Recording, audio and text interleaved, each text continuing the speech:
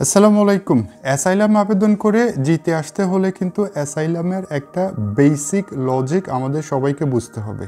আমার মনে হয়েছে আমরা অনেকেই এই বেসিক লজিকটা বুঝতে না পারার কারণে নিজেদের রিয়েল প্রবলেম থাকার পরও নিজের সমস্যা প্রমাণ করতে পারি না, আলটিমেটলি রিজেক্ট হয়ে আসি। আজকের এই ছোট সংক্ষিপ্ত ভিডিওতে আমি সেই লজিকটা নিয়ে আমার ব্যক্তিগত মতামত তুলে ধরছি। লজিকটা কি? দেখেন, অ্যাসাইলাম আবেদন শব্দটা হচ্ছে আবেদন, তার মানে আপনি কোনো একটা কিছু চাচ্ছেন।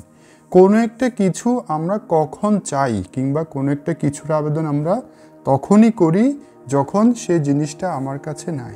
এখন দেখেন, আমাদের যে লিখিত আবেদন কিংবা আমাদের যে মৌখিক উপস্থাপনা অ্যাসাইলাম ইন্টারভিউতে, সেখানে আমরা অনেকেই এভাবে তুলে ধরি, আমার মা বাবা নাই, আমি এতিম। আমি একা বড় হয়েছি। আমার কোনো আত্মীয় স্বজন নাই, আমার কোনো ভাই বোন নাই। এই কথাগুলো বলার মাধ্যমে আমরা আমাদের কষ্ট তাদের কাছে প্রকাশ করে একটা আবেদন করি। ঠিক কিনা? আচ্ছা।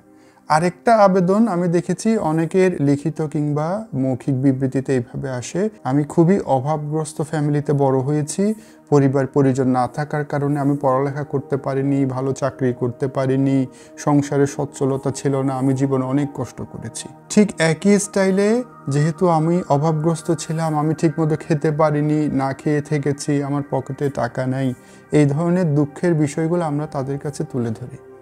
দেখেন প্রথমেই বলেছি, আপনি করতেছেন একটা আবেদন।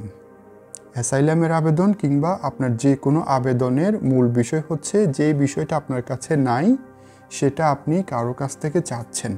হাত পাততেছেন, খুঁজতেছেন, আপনি যেই শব্দেই বলেন না কেন। এখন যখনই আপনি আপনার যে আশ্রয়ের আবেদন, অ্যাসাইলামের যে আবেদন, সেখানে তুলে ধরছেন, আমার মা বাবা নাই, আমি এতিম, আমি একা বড় হয়েছি। তাহলে এইখানে আপনার আবেদনটা কি? এখানে আপনার নাইটা হচ্ছে আপনার মা বাবা, এখানে নাইটা হচ্ছে আপনার আত্মীয় স্বজন, যার কারণে আপনি একা বড় হয়েছেন, আপনি আপনার দুঃখের আবেদনটা তুলে ধরতেছেন। তাহলে এই আবেদনটা যিনি পূরণ করবে, উনি আপনারে কি দিবে? উনি আপনারে মা বাবা তো আর দিতে পারবে না, তাহলে উনি আপনাকে মা বাবার ছায়া দিবে।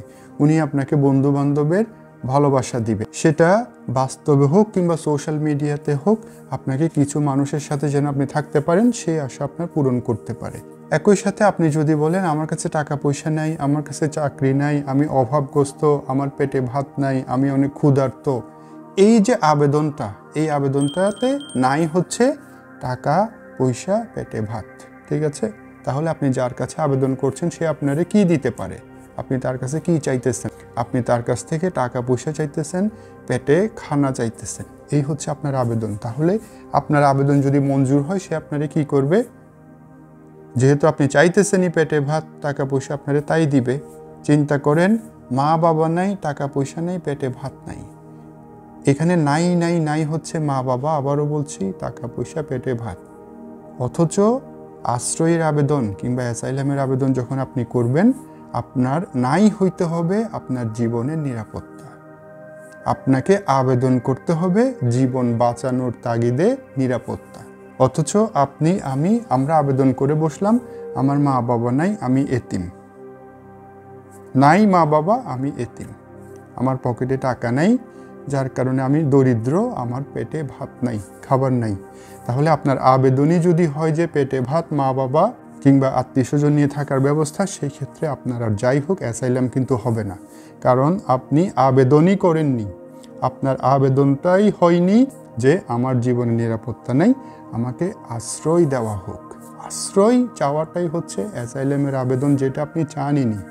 এই বেসিক লজিকটা না বুঝে যারা নিজেদের আশ্রয়ের আবেদনের লিখিত বিবৃতিতে অথবা মৌখিক বিবৃতিতে মা বাবা নাই, পেটে ভাত নাই, পকেটে টাকা নাই, দারিদ্রতা। এই বিষয়গুলো তুলে ধরবেন, তারা রিজেক্ট হবেন এই কারণে, কারণ আপনার আবেদনটাই হয়নি। আমি আশা করি এই সংক্ষিপ্ত ভিডিওর মাধ্যমে আপনারা বেসিক লজিকটা বুঝতে পারছেন এবং নিজেদের আবেদন লিখিতভাবে কিংবা মৌখিকভাবে যখন উপস্থাপন করতে যাবেন, গুরুত্ব দিয়ে আপনি কিসের আবেদন করছেন, কি আপনার নাই, কি আপনি চান, এই বিষয়টা তাদেরকে বোঝাতে সক্ষম হবেন। ভালো থাকবেন সবাই। আসসালামু আলাইকুম।